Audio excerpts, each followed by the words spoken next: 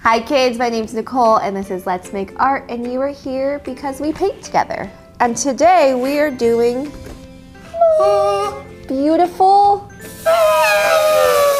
loud elephants. that was Keenan. You want to come say hi? That was Keenan making that noise. That was a pretty impressive noise. Hello. Can you show them how to do it? I don't know if I can do it. I don't know if I can do it without smiling. Okay, I'm gonna try. There's your elephant noise for the day. that was amazing. So we're painting our elephant. Now, the supplies that we're using, we're using our watercolors. We like to use watercolors here. And I have a red, or this one's called fuchsia, yellow, and a blue. And we're gonna make a full rainbow because you can see our elephant and our sprays, our water sprays, are rainbow colors. So when we use watercolors, we always like to have a brush, we have a cup of water, and a paper towel. Then the other fun thing, where is my straw? Oh, right here, is we're going to be using a straw. So if you have our box, go and grab that, or if you don't, maybe ask a grown up, hey, do you have a straw I can borrow to do this fun technique? Now, first step is we're gonna have a lot of fun elephant facts for you coming our way. So Keenan, you may hear Keenan's voice With facts. with facts to share with us. So what we're gonna do is I want you to pick a color that you wanna paint your elephant. Now, we have the three primary colors, which are red, yellow, and blue. But I wanna show you how you can mix two more, or three more colors actually. So let's do that first. Let's get our colors ready. So I'm just gonna show you, so you can do this with me as well, or you can just follow along and watch. But I'm gonna show you the three colors we're starting with. Then what I wanna do is, this is how we mix, and we've done this before, where I'm gonna mix these two colors. So when you mix red and yellow together, you get orange. Ooh, that's kind of a reddish orange. It's pretty. Then when you mix yellow and blue, you're going to get green. So we're moving down. Do you see how we're getting the rainbow? Yes. Boom. Green. Yes. Now, when you mix blue and red together, or this is fuchsia, that's how you make. Ooh, so this kind of made a navy Ooh, color. Ooh, pretty. I like that. So I'm gonna keep that. And let's add more fuchsia and we'll get purple. There's so many different colors you can make. Now, we are all ready to go. So before we paint here, we like to say our motto together. So if you can raise your right hand and repeat after me. I am brave, I am brave. I am kind, I am kind. and I am creative. And I am creative. Let's do this.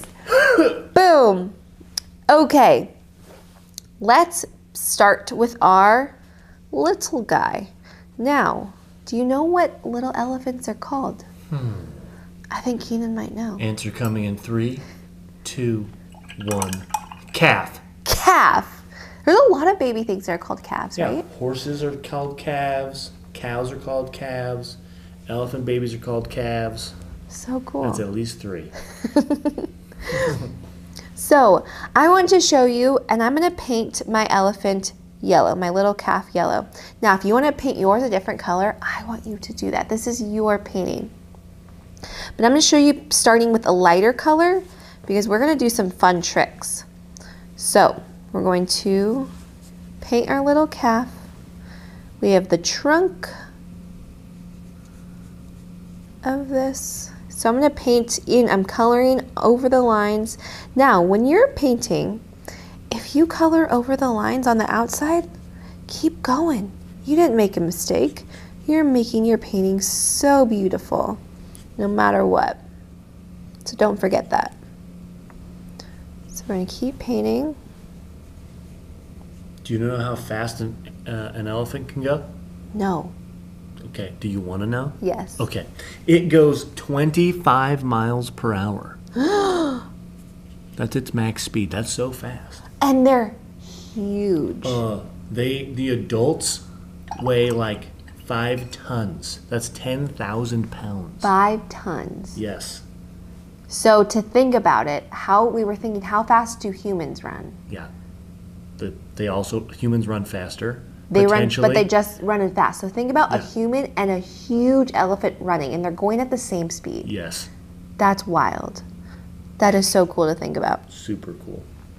Okay, so as we were painting this, now if you want to add some other colors, I want to show you maybe you have fun and you get loose and you go, okay, maybe I want to have some orange here. Kind of mix that in, maybe add some water. I want you to have fun and make your elephant your own. Now, cool. Just added some little texture to them. Let's let that dry and we're gonna move on to our grown-up elephant. Now, I have two different size brushes, so if you have the same, maybe you use the small one for this one and the big one for this one, because it's a little bit of a bigger area. So I'm gonna dip in water, and I'm gonna start with yellow too. Maybe, let's see, so if this is the calf, and this is the grown-up, Keenan, I want you to think and make a story. Are these, is this the, the mom or the dad, or is this the, fr- the older friend? Okay. Okay. Uh, well, obviously they're dancers, Obviously, okay. um, and they they spend a lot of time together. They're on a team, Oh, I like that. so I think they're going to be best friends. okay. Okay. So they're currently performing. They're practicing their performance that's coming up here pretty quickly. Mm-hmm. Uh, and one's name is Genevieve, Oh, okay. and the other one's name is Which one is Genevieve? uh, the smaller one. Cool. And actually, she's just farther away. oh, so she's, okay. Yeah. Okay. Tricky. Tricky. I like. Okay. Uh, and the closer elephant,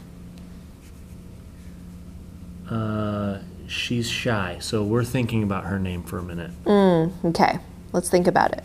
And then while we're thinking and we're painting, do you see how I added some green? And I'm adding some different colors. So on this one, I showed you how you can paint it one color and then add some color. I'm adding color while I'm painting and just mixing it.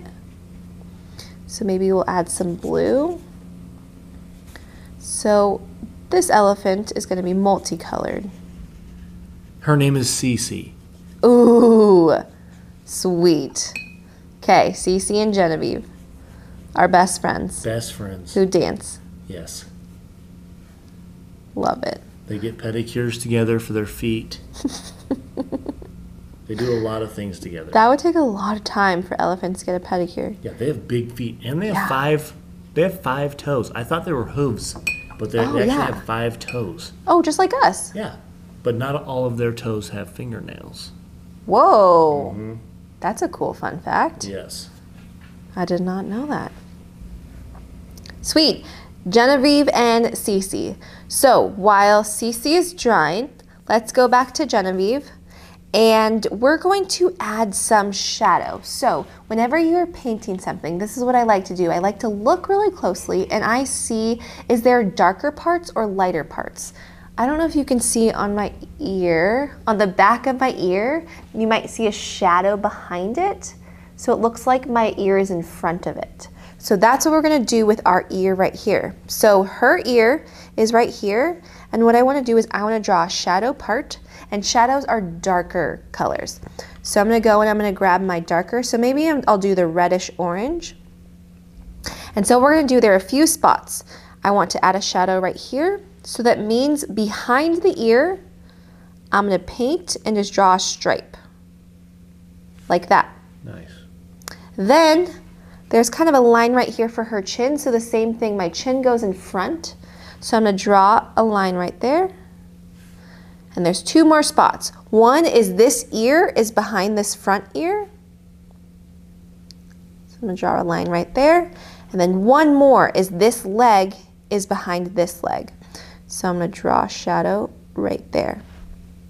So now what I want you to do, so you want you to clean your brush and the original color or the first color that you made your elephant, so for me it was yellow, I'm gonna go and pick up the yellow. And what I want you to do is I want you to touch where you made that shadow line and overlap. And then I want you to paint out. So I want you to paint back over your elephant. So same here as I'm gonna just blend it in. So can you see how it kind of softened that shadow? Yeah. The shadow kind of looked like a shirt collar for a minute. I like that. Maybe we'll add that too. We can add so many different things. So what you're doing again is you're creating that shadow so it adds that pop. Now your colors may blend together. I love that about watercolors is that they blend. They have a mind of theirs, their own. And so we're going to just add and let it do its thing. We appreciate those little blending parts. Now, let's see. While I'm thinking about it, we can also add some texture. So elephants, elephants are beautiful animals and they have wrinkles or that's what I would call them. Yeah, like age marks almost. Yeah. And so what that is, and even on the calves, I've because I've seen elephants in person and they're majestic and amazing. And so when I was looking from I was trying to see when I was drawing them because I wanted to paint some when I was there. I was in this country called South Africa, and it was by it was by South Africa. It's called Botswana. And so I was looking at them and I was noticing that they have these lines. So when I was making this project for you, I thought, let's add some of those lines. So I'm going to take a darker color and I'm going to add some lines. Now, they can be anywhere on your elephant. So maybe there's some wrinkles there. Maybe there's some wrinkles on the legs. We're kind of adding that in and giving our elephant some texture. Now, if you want to blend that in, here's a beautiful thing. You go and grab water, hit it off to the side, and I'm going to kind of touch it a little bit. So it's kind of there, but it's also not. Hmm. Little- Sneaky, sneaky. Little magic trick. So we're just kind of adding those really gorgeous textures to our elephants. Also, elephants are pretty dirty.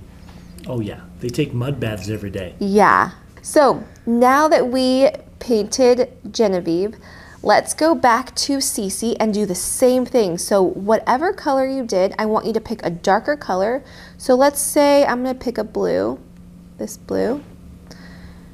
And I'm gonna go and I'm gonna add a line. So I'm adding my shadow by painting a line. Did Right you know their there. tusks are teeth? Oh, ours, we can add tusks too. Yeah, we could. Their tusks are teeth? Yep, That's the ivory part, right? Yes. The white part. yep. I didn't know that because they use that to eat or to chop them. I don't know. I wonder what they use them for. If they're teeth. I'll find out. Yeah. yeah. What do they use them for? I think they're just for fighting. Oh. So I'm adding that shadow and then I'm going to go in, I'm going to swish my brush in the water to change colors and I'm going to grab, let's grab a little bit darker color in green and I'm going to blend it back in. So I'm touching this. Hmm. Maybe I'll add some water. So in water it just lightens the color and I'm going to blend it black out. Got information for you. Sweet, tell us. Okay. Elephant tusks evolved from teeth, giving the species an evolutionary advantage. They serve a variety of purposes digging, lifting objects, gathering food, stripping bark from trees to eat, and defense. Oh, so it's before they eat. The tusks also protect the trunk, another valuable tool for drinking, breathing, and eating, among other uses. Mm. So, let's draw some tusks. I'll add some. A group of elephants is called a herd. Mm-hmm. The herd is led by a matriarch, which is the oldest female.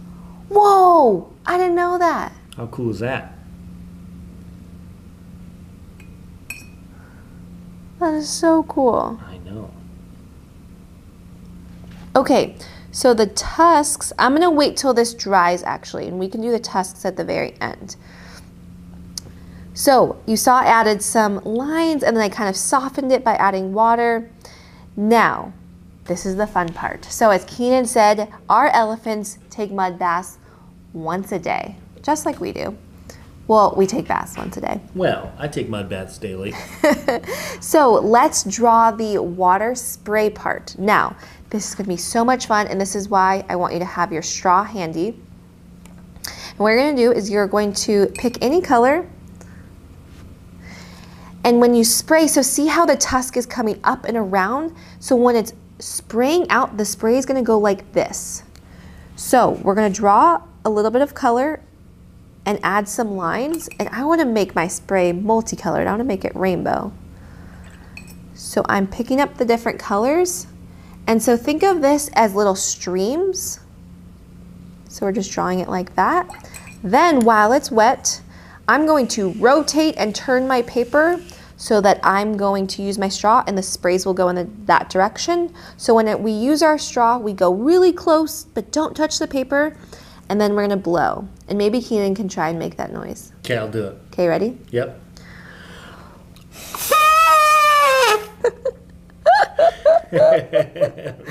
That was amazing. So I want to add more. So I want my spray to go out a little bit more. Okay, one more time.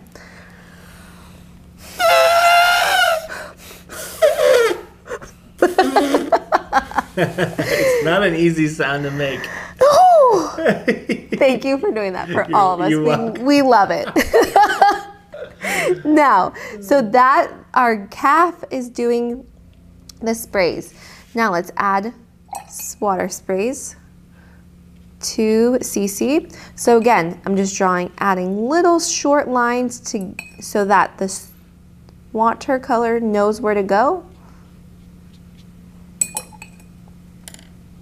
Then I'm going to turn my paper again in the direction where I want the sprays to go.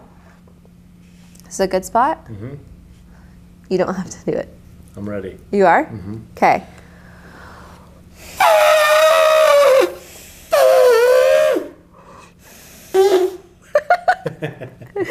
Sweet! Yes! That is so much fun. We can add a little bit more. I want a little bit more color. You are having so much fun. This is what we like to do here. We just add more color to our painting. Woo! I get a little lightheaded too. Yep.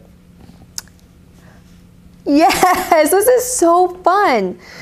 Okay, now the last step is let's add some eyes. Ooh. Now, you can make them any color. I want to show you if you want to make them black. Here's how you do it. You mix all three colors together that you have. So the three primary colors, which are a red, a blue, and a yellow. Oh, there's some yellow. You're gonna mix them together. Oh, so we just made black. Nice. Now, here's what I'm thinking is when we're looking at this, I'm gonna make my eyes because when I'm when if you're blowing water, your eyes are kind of closed. Unless your eyes are open. Maybe you're talented. but I imagine the elephant's eyes to be closed, but they're smiling because they're having fun. So let's draw eyes that look like little smiley faces. So we're gonna draw it in this area of your elephant. You're gonna draw a smiley face there. And the smiley face, so it'll be about in this area. Another smiley face there. Beautiful. Now, the tusks. Let's use hmm. the black we have, but I want to add water because I the tusks are a white or kind of a light gray. Yeah. So I added a lot of water to my palette so I have a little bit of color. Now, the tusks are right here. I, th- I think so. Can you show me a picture of an Right- elephant? Yes. Yeah, they're right next to the trunk. right here. Yes, and they come across. Okay, so if you want to paint it, or you can use a, a pencil or a pen as well. Maybe I'll do that. So right here, and they kind of come out right here, right? So maybe we draw two smiley faces. So the tusks are are wider when they come wherever part of the body they come out, and then they get skinnier and they make a point. So we're gonna do that as well, right? That's what I was seeing. Yep. So they're wider here and then they come to a point right there. Do babies have tusks? Hmm. I think so. They're just shorter. Okay. Let's draw right there. Can you show me another picture again? Yes, I can. So this is how we draw is you look at something and we're just drawing those simple lines that we see to make it come to life. So I think they're right here. So yeah, they're close to the end of the trunk.